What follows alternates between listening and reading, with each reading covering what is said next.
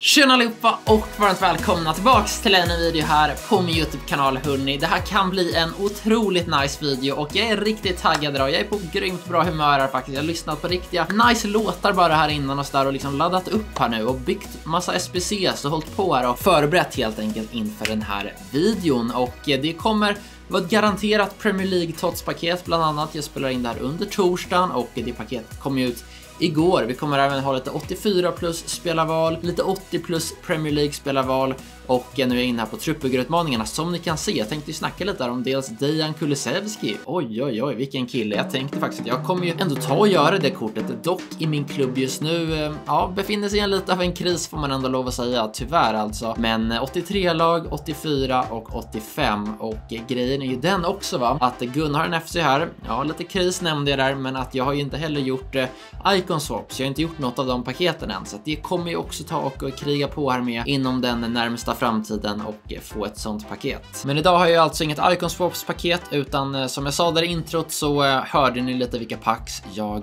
har. Men jag har inte varit så himla aktiv här på på, ja men dels på kanalen men sen även på Fifa på sistone heller. Det har varit um, mycket liksom redigering till Immerboss. Jag vet att jag har sagt det många gånger men det är helt enkelt, det är mycket så det är faktiskt och uh, ja, jag tyckte det varit kul att lägga ner mycket tid på det på sistone. Jag lägger liksom aldrig upp något som jag inte är nöjd med. Det känns ju meningslöst. Alltså, det är ju kul om man lyckas ladda upp mycket videos, men det är aldrig mitt mål, utan hellre kvalitet än kvantitet. Bara så ni vet det hörni, att, eh, att det är lite så jag jobbar liksom. Att jag tänker att ni vill ju inte ha bara videos bara för att heller, utan det ska ändå vara någonting som händer, något nice. Och nu ska inte jag babbla för mycket, utan nu ska jag faktiskt börja ta och hoppla in.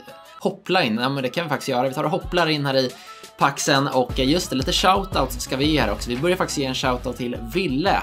Han eh, hade kommenterat där, men sen har det blivit lite märkligt som att med vissa Eh, ja, nu blir det så mycket babbel igen, men med vissa videos har det varit att när Ingvar har varit med så har kommentarerna inaktiverats. Nu bara på sistone också går det inte att få tillbaka kommentarerna och han kommenterar på en sån video, med shoutout till dig i alla fall Ville. Nej, men så det är kul att du följer kanalen där Ville. Tack för den kommentaren i alla fall. Han skrev något i stil med att jag är bäst och sådär så att eh, tipptopp liksom. Och sen har vi ju Oliver K10 också som också lämnade en fin kommentar där.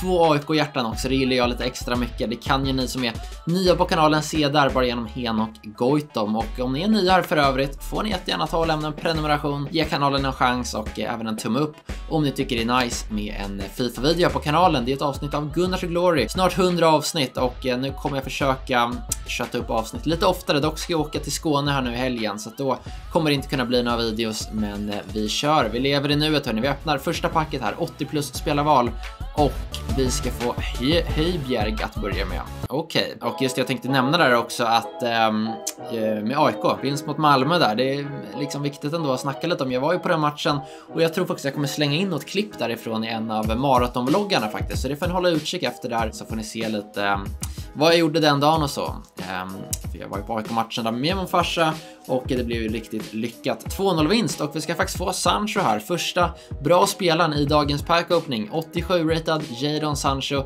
är riktigt nice faktiskt och det här är alltså bara Premier League-spelare, ni som inte har sett de här spelarvalen förut och jag har gjort ett par sådana. Sen kommer vi jobba oss in i 84 plus spelarvalen här snart. De ligger längst till vänster och de här är ju så ganska lätt att göra ändå. Dock är inte min klubb eh, den allra vassaste här just nu tyvärr så att jag inte lyckats eh, lyckats göra allt för många sådana här, men ehm, ja, klubben blir... Oj, just det. Ja, men smart Gunnar, verkligen där. Äh, ja, äh, men då får vi ta och lämna in honom med en annan SPC efter det här helt enkelt. Jag tänkte bara, han var inte typ dubblett, men det var bara för att jag inte hade skickat honom till klubben. Ja, ja, Pogba får vi där i alla fall. En till 87-ratad. Det är nice fodder. Det är mycket SPCs ute nu. Kulusevski till exempel, som jag som sagt gärna vill ta och göra och eh, testa honom här i en video och se om han är så bra verkligen. Vi har ju Harry Maguire här också. Mycket United-spelare faktiskt. Vad har vi redan? Eh, tre Manchester United-spelare. Jajamensan. Får spelare från toppklubbarna här helt enkelt i Premier League. Oj, oj, oj! Okej, okay. Allison, där satt den. Jag är inte van. Hur, reager hur reagerar man ens? Det var länge sedan jag fick någon sån här nice spelare, men kanske en av de lättaste att packa. Jag vet inte riktigt, men det är en Premier League-tots i alla fall. Och nu kommer jag ju på att jag har ju faktiskt redan packat en Premier League-tots. Det kan jag slänga in nu på skärmen nu redan eh, medan jag snackar här och det var ju faktiskt Bernardo Silva som jag fick då. Jag streamade där med Ingmar både i lördags och i söndags och då lyckades vi faktiskt packa Bernardo Silva där på mitt konto. Men Allison är ju också nice, en till till eh, samlingen här helt enkelt enkelt. Vi får faktiskt Harry Kane där i samma spelarval, det är ju rätt nice. Och nu kommer jag på att det var ju ett 84 plus spelarval också, det var ju därför det var lite extra sjukt. Så vi ska väl se om vi kan få en tots i det andra 84 plus också. Eller om, um, om det blir ett misslyckande. Kom igen nu, två tots i rad, kan det hända?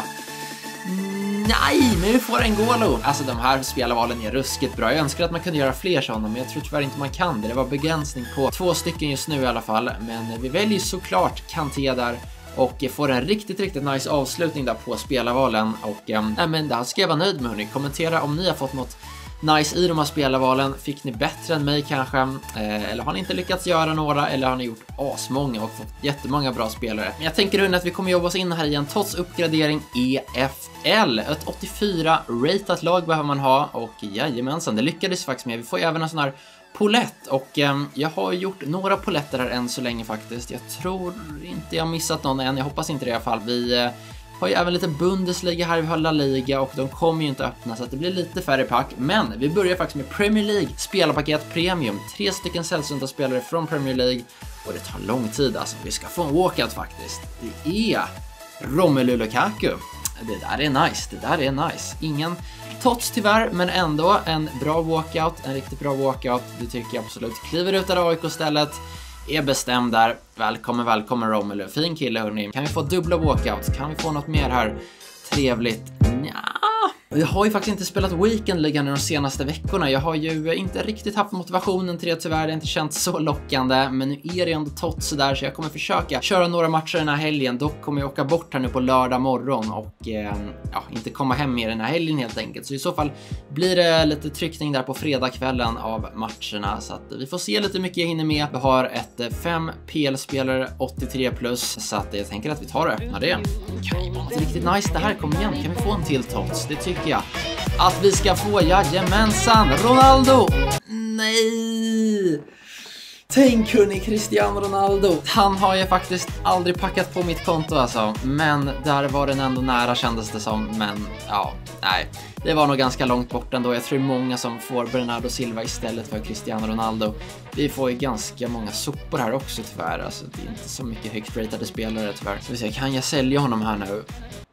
Nej, får jag lämna in honom någonstans här? Five minutes later. Här, det var faktiskt ganska lyckat hörni. Jag lämnar in um, Bernardo Silva här nu i det bästa laget på Kulusevski SPC. 85-ratade laget och ja, han gör ju mycket skillnad där så vi behövde inte alls ha så bra spelare runt honom helt enkelt så att han kommer in väldigt användbart där och vi får ju ett pack till här också så att uh, riktigt nice ändå till slut att uh, packa Bernardo Silva där men det är klart att en liten Ronaldo hade ju inte heller skadat och vi kan ju fortfarande få honom. Vi har ju här kvar hörni, vilket är otroligt nice. Tots spelarpaket EFL hörni, det är dags tänker jag. Vi testar det här paketet. Det är väl inte någon jättehype kring det här egentligen, men kan vi få någon liten läckerhet? En mittback får vi från Skottland. Nej du. Nej du Naismith. Det där, eh, det där är inte så himla trevligt ändå. Han gör sin autograf där, men jag vill inte riktigt liksom veta hur den ser ut egentligen, för jag Bryr mig inte så supermycket om honom. Ska vi se, har han något slags värde? Nej, det är faktiskt inte det han har heller. Aj, det där var riktigt sorgligt, men åtminstone en tots. Man behöver ju det till en del eh, truppbyggarutmaningar här nu, så att det kan ju komma in användbart faktiskt. Absolut, men eh, rätt tråkigt pack. Vi kör det här och sen det garanterade Premier League tots-paketet helt enkelt. Vi ska se. Ja, vi får en walkout här. Trevligt, trevligt. En tysk, en målvakt. Vi har Ter Stegen. Riktigt, riktigt bra. 90 poängare. Där kom det, poängare. Det är ju en eh, gammal följare på kanalen som har efterfrågat lite det att vi alltid säger rated här nu, men nu kom poängare in här och Dani Alves också. Vilken kille. Han är tillbaka här på Fifa alltså. Och eh, ja, han är ju gammal nu, men han är riktig king ändå. Så att vi tar och räknar ner här till eh, 0 från 3. 3, 2, 1, 0. Där öppnar vi det. Kom igen då, Cristiano Ronaldo. Får vi en till portugis? Blir det en engelsman? Vilken flagga har vi? Vi har en portugis. Haha, Nej, det är kul Bernardo. Det är... Ja du. Nej, nej men det är tråkigt faktiskt. Vi har fått fyra Premier League-tots. Tre av dem har varit Bernardo Silva. Nej, det är tråkig, tråkig variation faktiskt, det måste jag säga. Alltså. Och då får vi återigen ta och lämna in honom någonstans. Det blir väl den andra 84-ratade laget på Kulisevski SPC då. Hur mycket kostar den egentligen? Det är väl det är en del ändå. 150k typ verkar det som. Så att, eh, ja det spelar ju tyvärr ingen roll för mig eftersom det är ju ytterligare ett untradable pack. Men hörni, jag hoppas i alla fall att ni har tyckt om den här videon och eh, det vart ju som sagt, ja men några bra packs, några lite mindre bra packs som vanligt helt enkelt. Så att eh, om ni har tyckt den här videon har varit nice får ni jättegärna ta och lämna en tumme upp och sen även ta och prenumerera här på kanalen och Ehm, så kommer det snart fler FIFA-videos helt enkelt och eh, kommentera även har ni fått något nice här under trots vilken är den bästa spelaren ni har packat så ska jag se till att läsa alla kommentarerna, likea en del och svara på en del helt enkelt. Så får ni höra oss så jättebra så där vi ses snart i en ny video. Ha det så bra så kör då!